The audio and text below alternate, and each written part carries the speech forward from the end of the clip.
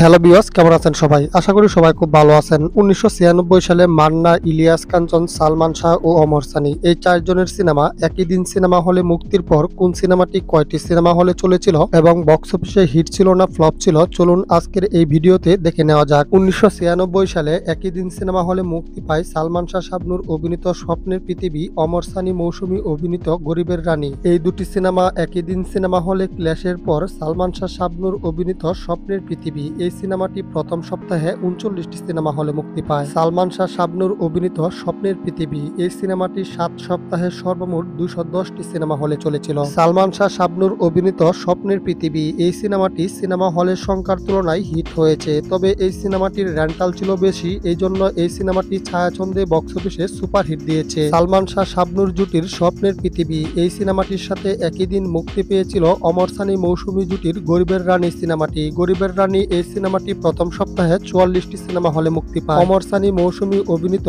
গরিবের রানী, এই সিনেমাটি আট সপ্তাহে সর্বমোট দুইশো পঞ্চাশটি সিনেমা হলে চলেছিল। ছায়াছন্দের মতে, গরিবের রানী এই সিনেমাটি সুপার হিট ব্যবসা করেছে। আবার সিনেমা হলের সংখ্যার তুলনায়ও গরিবের রানী সিনেমাটি সুপার হিট ব্যবসা করেছে। সালমান শাহ ও অমর সানির প্রথম ক্লাসে সালমান শাহ হেরে যায়, অমর সানি জিতে যায়। আলমগীর শাবানা, ইলিয়াস কাঞ্চন দ্বিতীয় অভিনীত দুর্জয়, এই সিনেমার সাথে একই দিন মুক্তি পায় সালমান শাহ অভিনীত মায়ের অধিকার। সিনেমাটি?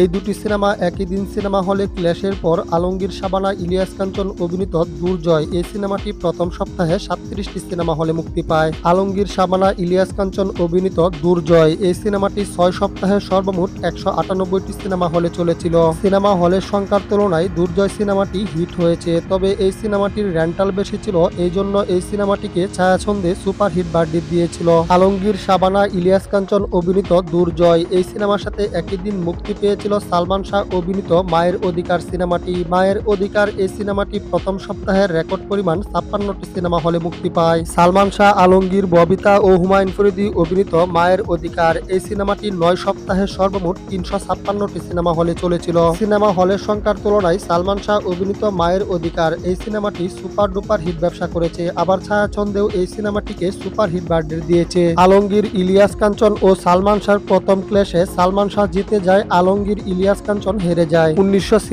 সালে একই দিন মুক্তি পেয়েছিল সালমান শাহ অভিনীত এইগর, এই সংসার মান্না অভিনীত রুটি। এই দুটি সিনেমা একই দিন সিনেমা হলে ক্ল্যাশের পর সালমান শাহ অভিনীত এইগর, এই সংসার, এই সিনেমাটি প্রথম সপ্তাহে আঠাশটি সিনেমা হলে মুক্তি পায়। সালমান শাহ অভিনীত এইগর, এই সংসার, এই সিনেমাটি সাত সপ্তাহে সর্বমোট একশো চুয়াল্লিশটি সিনেমা হলে চলেছিল। সিনেমা হলের সংখ্যার তুলনায় সালমান শাহ অভিনীত এইগর, এই সংসার, এই সিনেমাটি এভারেজ ব্যবসা করেছে। আবার ছায়াছন্দে এইগর এই সংসার, এই সিনেমাটিকে ফ্লপ বার্ডি দিয়েছে।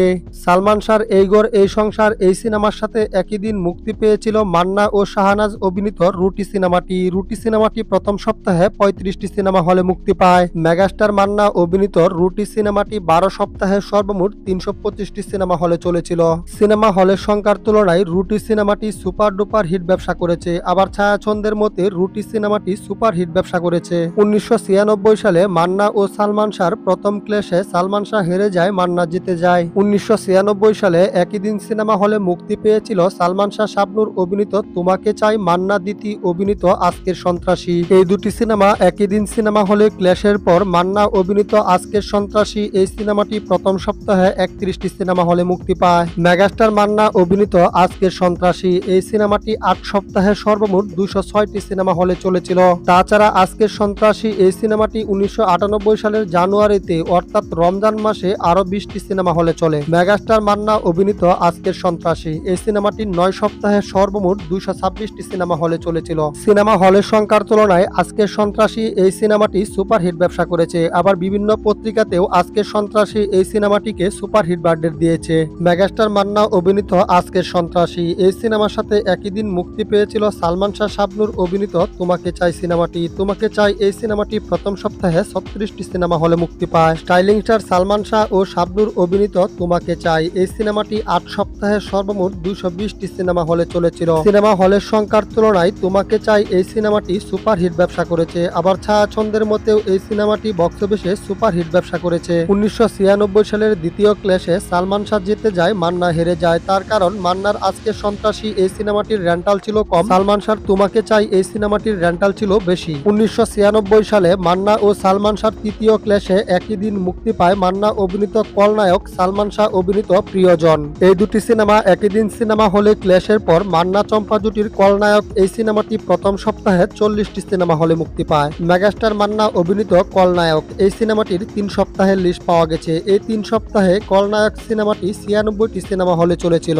তারপর আরও অসংখ্য সিনেমা হলে চলেছিল কলনায়ক সিনেমাটি। সেই লিস্টগুলো কানেক্ট করা হয়নি। কালেক্ট করলে অবশ্যই দেওয়ার চেষ্টা করব। তো যাই হোক, উনিশশো ছিয়ানব্বই সালে মেগাস্টার মান্না অভিনীত কলনায়ক এই সিনেমাটি প্রিয়জন সিনেমার সাথে ক্ল্যাশের পর বক্স অফিসে হিট হয়। মেগাস্টার মান্নার কলনায়ক এই সিনেমার সাথে একই দিন মুক্তি পেয়েছিল স্টাইলিং স্টার সালমান শাহ অভিনীত প্রিয়জন। প্রিয়জন সিনেমাটি প্রথম সপ্তাহে উনত্রিশটি সিনেমা হলে মুক্তি পায়। স্টাইলিং স্টার সালমান শাহ অভিনীত প্রিয়জন। এই সিনেমাটির দুই সপ্তাহের লিস্ট পাওয়া গেছে। দুই সপ্তাহে প্রিয়জন সিনেমাটি বাউন্নটি সিনেমা হলে চলেছিল। সালমান শাহ অভিনীত প্রিয়জন এই সিনেমাটিকে সবগুলো পত্রিকাতেই ফ্লপ দিয়েছিল। তবে ছায়াচন্দে প্রিয়জন সিনেমাটিকে এভারেজ বার্ডেট দিয়েছিল।